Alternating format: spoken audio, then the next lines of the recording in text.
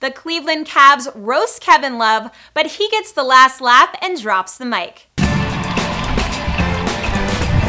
Hey guys, what's up? It's Angela Struck here for The Fumble. To find out the hottest sports news and gossip, be sure to hit that subscribe button and join our notification squad. At a wine and gold charity event, LeBron James, J.R. Smith, and Tristan Thompson took playful shots at their teammate Kevin Love for his high school basketball pic, in which they felt he looked a bit chubby. what do you think? Does Love still have a bit of baby weight here? Let me know your thoughts in the comments below. While Instagram responded agreeing with Love's teammates saying, quote, lost hella weight, he's hella big, and even love him in his rounder days. Well, Kevin Love took the jokes in stride, but then silenced the trash talk by reminding his teammates that this pic was taken in 2007 when he was named the National Athlete of the Year. Then, like a baller, Love dropped the mic. Check out the video. I saw the other and I was uh, National Athlete of the Year, so that was that year.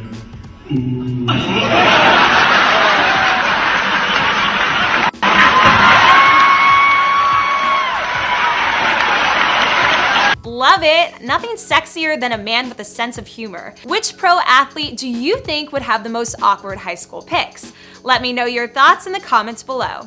For the hottest sports news and gossip, like, subscribe, and comment below, and be sure to shop the Fumble store for the latest NBA gear.